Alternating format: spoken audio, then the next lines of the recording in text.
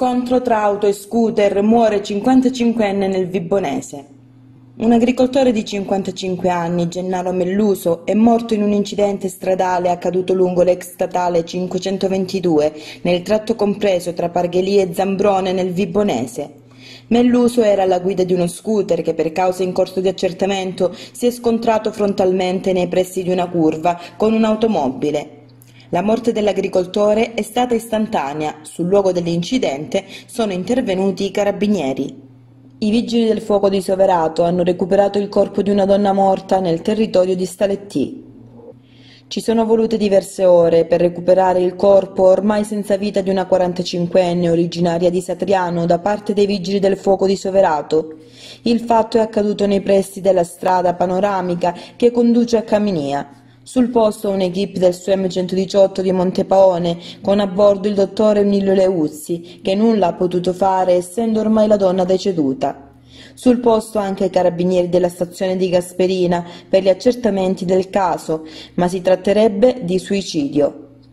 Sul posto anche il sindaco di Stalettia, Alfonso Mercurio, con il suo vice Rosario Mirarchi. Morto consigliere comunale di Forza Italia Raffaele Iorfida a Vibo. È morto improvvisamente, probabilmente a causa di un malore, Raffaele Iorfida, consigliere comunale di Forza Italia a Vibo Valencia. Aveva 58 anni. Il commercialista vibonese si trovava proprio nei pressi della sede del partito.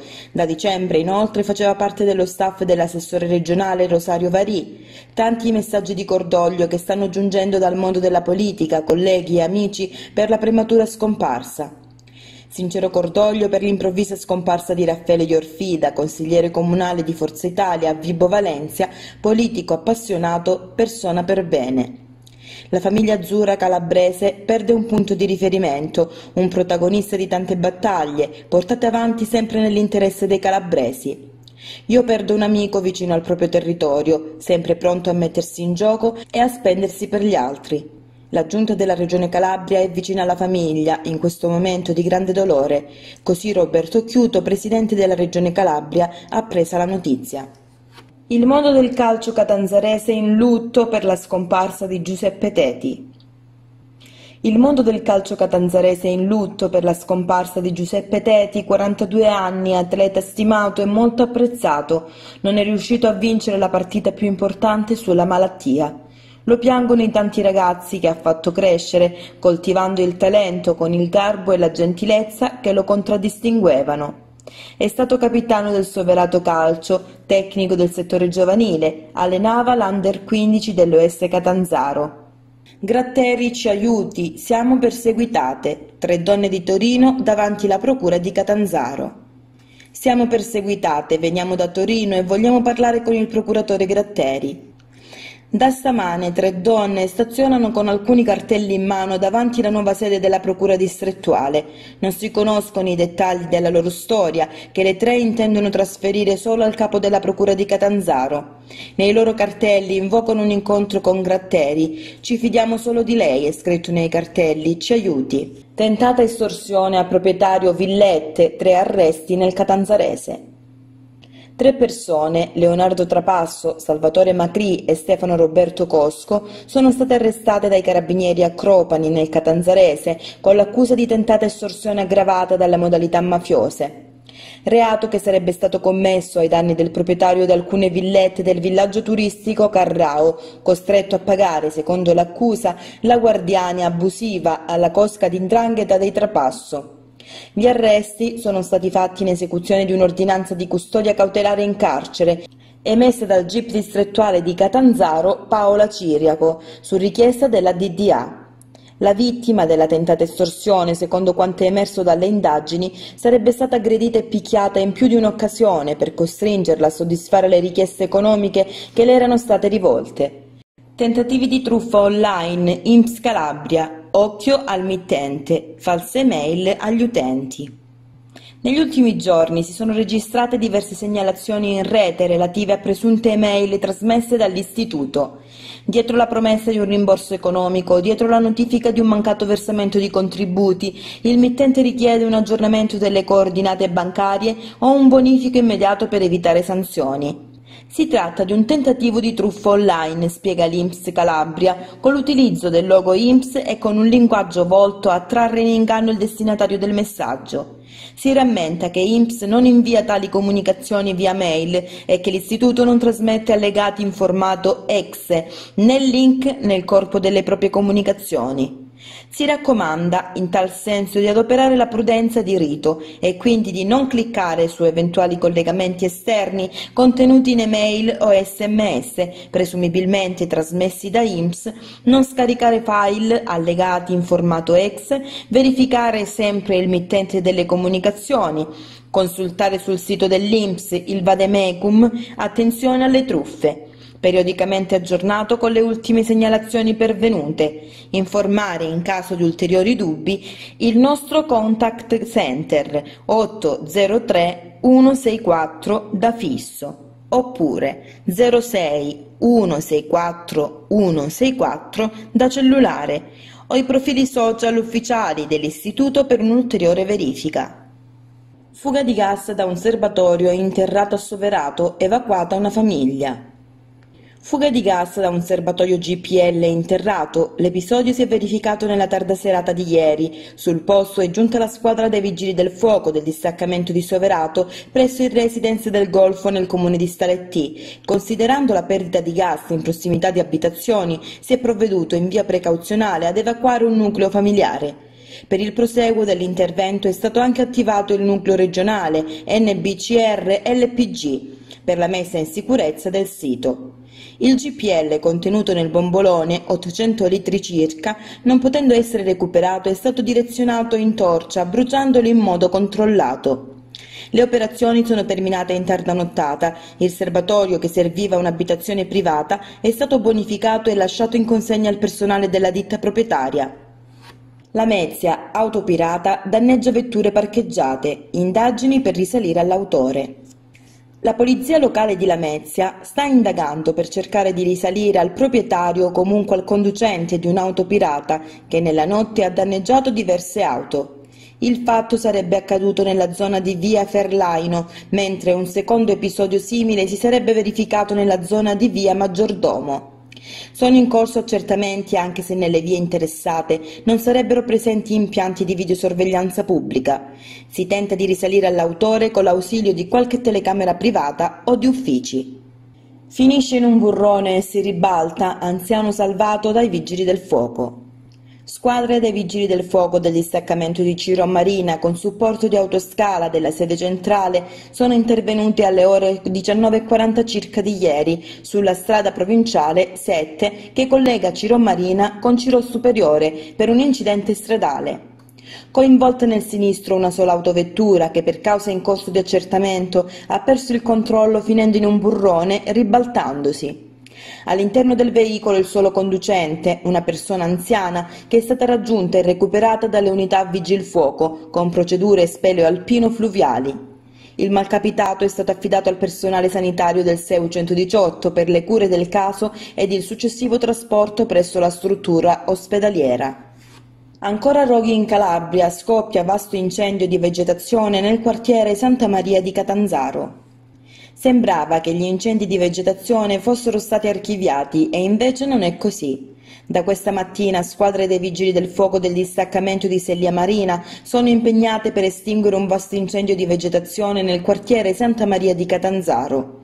Il rogo sta interessando le colline tra via Tagliamento e viale Isonzo, in prossimità anche della strada statale 106 VAR A. Sul posto otto mezzi dei vigili del fuoco con 20 unità e personale di Calabria Verde. Il rogo ha interessato anche rifiuti e cataste di gomme che hanno generato un'alta colonna di fumo nero, visibile a distanza, che ha creato non pochi disagi alla popolazione della zona. L'intervento è ancora in corso, al momento non si registrano danni a persone. Sul posto, in supporto alle squadre di terra, operano due Canadair ed elicottero regionale. Una denuncia e due segnalazioni a Serra San Bruno per detenzione di cocaina e marijuana. Continua l'attività di controllo del territorio ad opera della Polizia di Stato a Vibo Valencia e provincia per il contrasto al traffico di sostanze stupefacenti.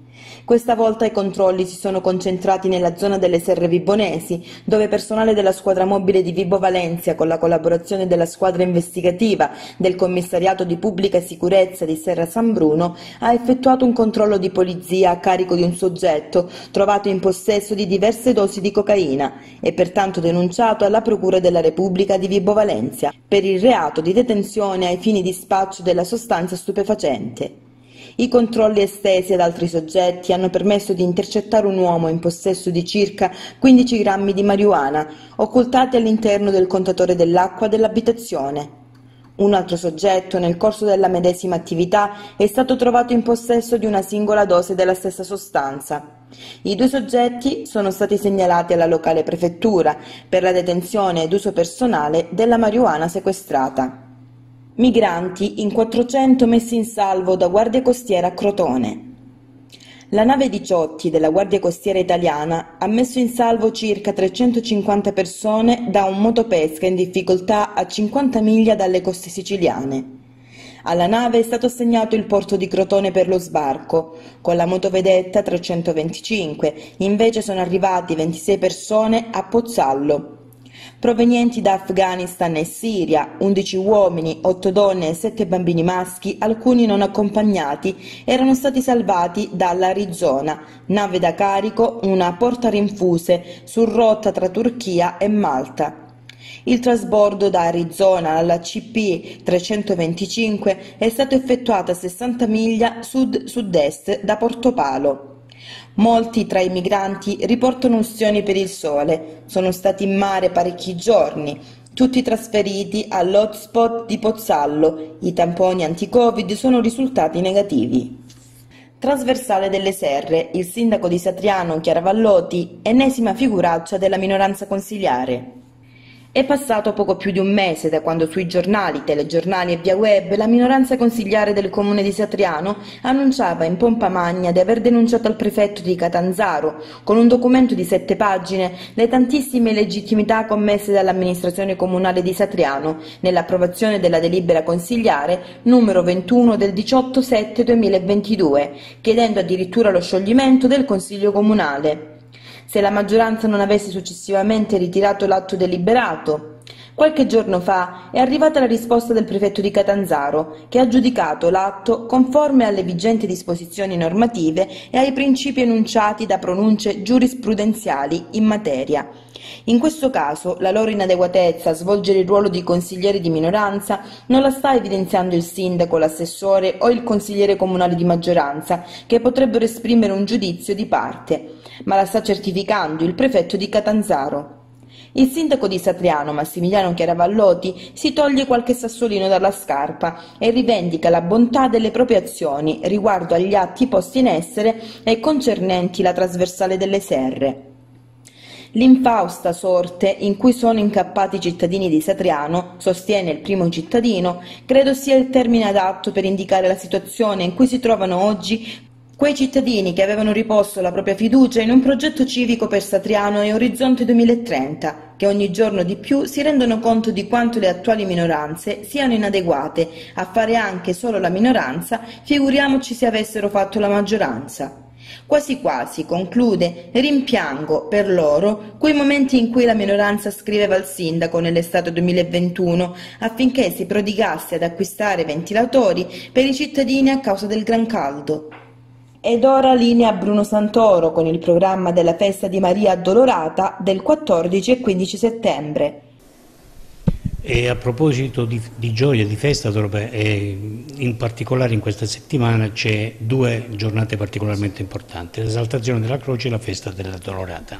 Mercoledì 14 celebreremo la festa dell'esaltazione della Santa Croce, alle ore 17 celebrerò la messa nella chiesa dei Pilati, ed è un'occasione in cui pregheremo in modo particolare, lo faccio ormai da quando è che sono sacerdote in questa data, per tutti i cristiani perseguitati a causa della fede.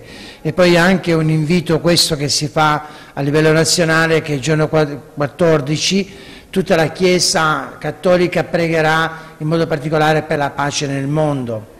Giorno 15 è festa della Beata Vergine Maria Addolorata, proprio in collegamento appunto alla festa della Saltazione Santa Croce, e quest'anno dopo i due anni di pandemia ritorneremo anche a fare la processione.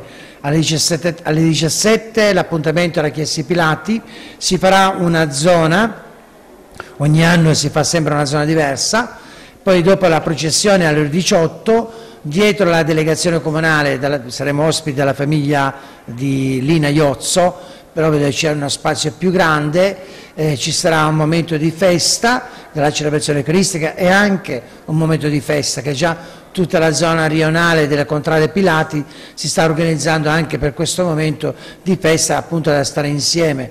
Queste piccole feste non sono di meno rispetto alle grandi feste, anzi sono quelle occasioni in cui tutta la comunità è invitata a vivere la festa nella quotidianità e quindi anche celebrare insieme la gioia di stare insieme è veramente qualcosa di importante che dobbiamo riscoprire. Festa dello sport a Chiaravalle.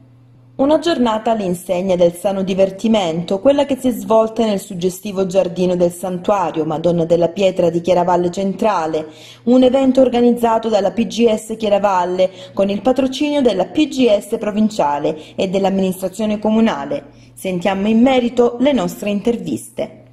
Bene, quest'anno finalmente, dopo questo periodo di Covid che è stato purtroppo ha bloccato tutti, eh, si riparte e si riparte alla grande. Come provinciale abbiamo un sacco di iniziative, tante società, un boom di società e nuove affiliazioni, faremo a parte il calcio e la pallavolo che ormai da diversi anni eh, funzionano molto bene, quest'anno ripartiremo eh, con, la, con, la, danza, eh, con la pallacanestro, eh, sarà penso sia veramente un anno di rinascita perché i ragazzi ne hanno veramente bisogno. Per cui oggi appunto con questa giornata eh, Chiaravalle inizia la sua attività eh, di promozione sul territorio perché anche lui eh, da decenni ormai nella PGS provinciale eh, di Catanzaro fa, fa tanta attività con, eh, e tanto aggregazione a Chiaravalle. C'è bisogno di ricominciare come dicevamo e tanti ragazzi che oggi sono presenti pure a Chiaravalle qui. Sì, c'è bisogno perché ormai questi ragazzi sono rimasti troppo tempo davanti ai computer, per cui hanno proprio bisogno di aria aperta, di sport eh, e di aggregazione sociale soprattutto.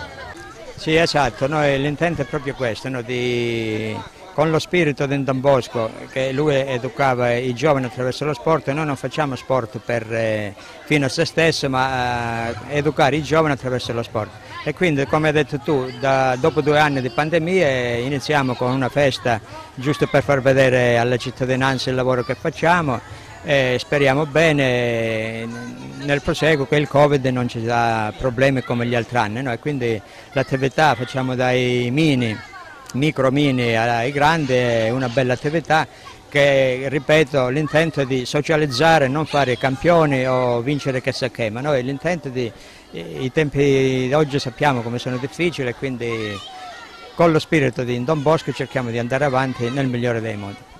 Quest'anno anche la danza?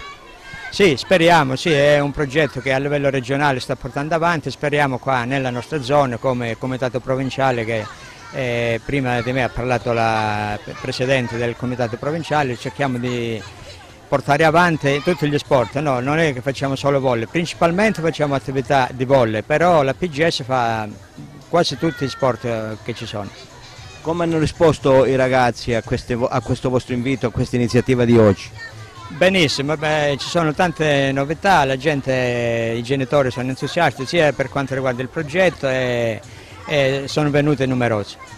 Con, con Liberata Donato, vice sindaco di Chiaravalle, oggi presente a questa iniziativa della PGS e tanti giovani che sono avvicinati a questa attività.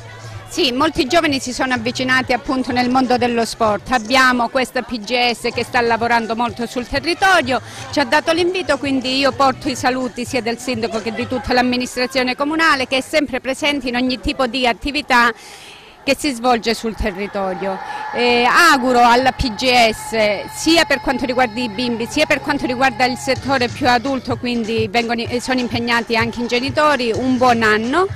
Eh, speriamo un anno di ripresa senza nessuna restrizione e quindi largo ai giovani, largo ai bambini.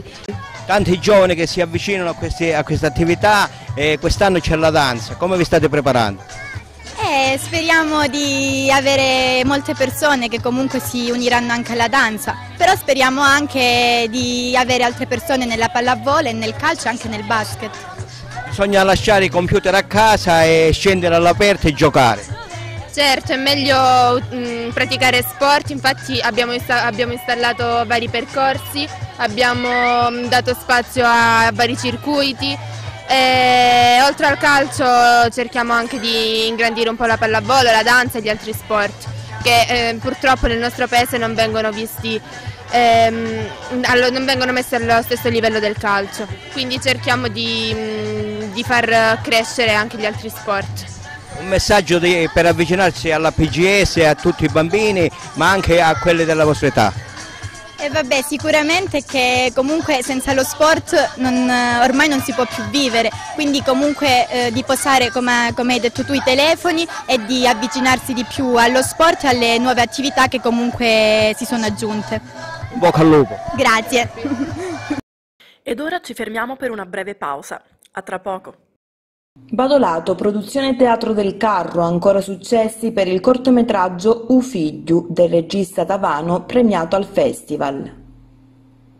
Non si ferma la corsa di U figliu, il cortometraggio scritto e diretto da Saverio Tavano, prodotto da Nastro di Mobius e Lighthouse Film, con il sostegno della Calabria Film Commission e la produzione esecutiva del Teatro del Carro che continua a inanellare successi su successi con protagonisti Anna Maria De Luca, Fabrizio Ferracane e Francesco Gallelli, il corto è tratto dall'omonimo spettacolo teatrale sempre prodotto dal Teatro del Carro e vincitore dell'edizione 2010 dei Teatri del Sacro, storico festival marchigiano dedicato alle intersezioni contemporanee, sempre più diffuse fra il teatro, la tensione spirituale e le inquietudini della ricerca religiosa.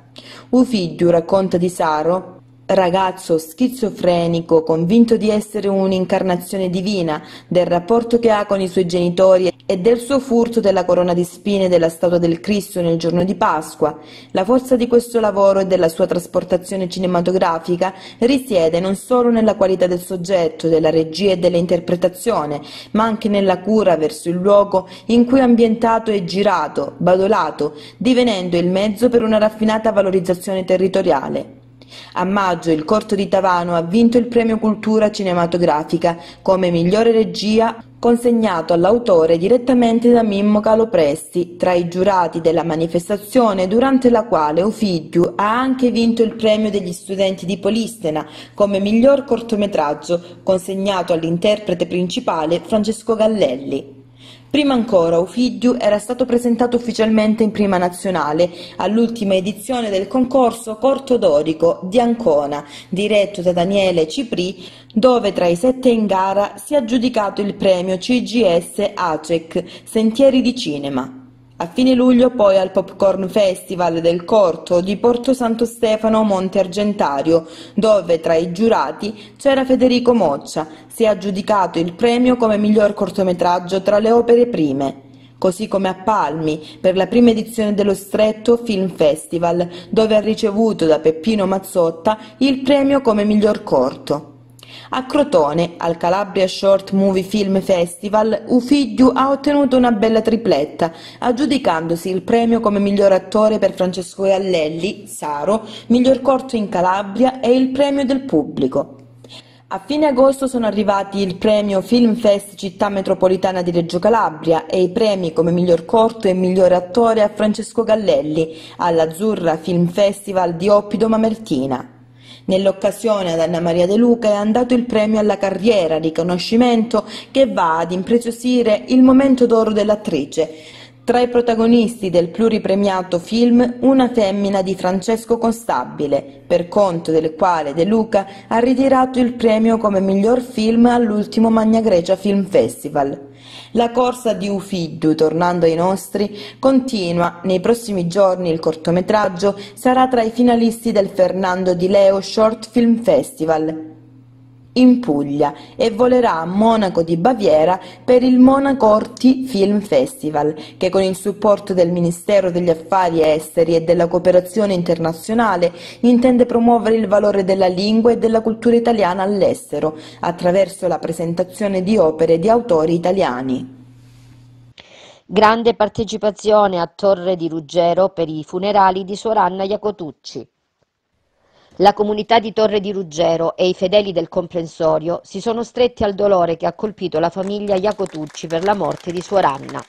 Sabato si sono svolti i funerali, presenti il sindaco e l'amministrazione comunale di Torre di Ruggero, le suore dell'Istituto Maria Immacolata di Chiaravalle Centrale, la Misericordia e numerose persone accorse, tutte commosse per la dipartita dell'amata e instancabile Suor Anna. La salma è uscita alle 15.25 dalla casa del pellegrino di Torre di Ruggero, attigua al santuario di Torre, dove Suor Anna, insieme alla consorella della congregazione di Santa Dorotea Frassinetti, di cui facevano parte, ha per tanti anni svolto la sua missione. I funerali hanno avuto luogo nel santuario, officiati da Monsignor Pino Silvestre, con la partecipazione del parroco di Torre Ruggero Don e di vari sacerdoti. Suor Anna, 78 anni, di provenienza campana, era presente a Torre Ruggero da più di vent'anni e qui, oltre ad aver prestato il suo immancabile e devoto servizio al santuario nella cura dello stesso, nelle funzioni, inconfondibile la sua voce nella recita del Santo Rosario e nei canti che animavano le messe e le liturgie. Ha prestato anche servizio come insegnante di religione nelle scuole primarie di Torre di Ruggero e nella catechesi. Non ha fatto mancare la sua vicinanza e la sua parola di conforto a chiunque le si rivolgeva. Sempre disponibile, attenta e affettuosa, persona sensibile e di cultura, è stata la suora di tutti e soprattutto la suora del santuario di Maria Santissima delle Grazie.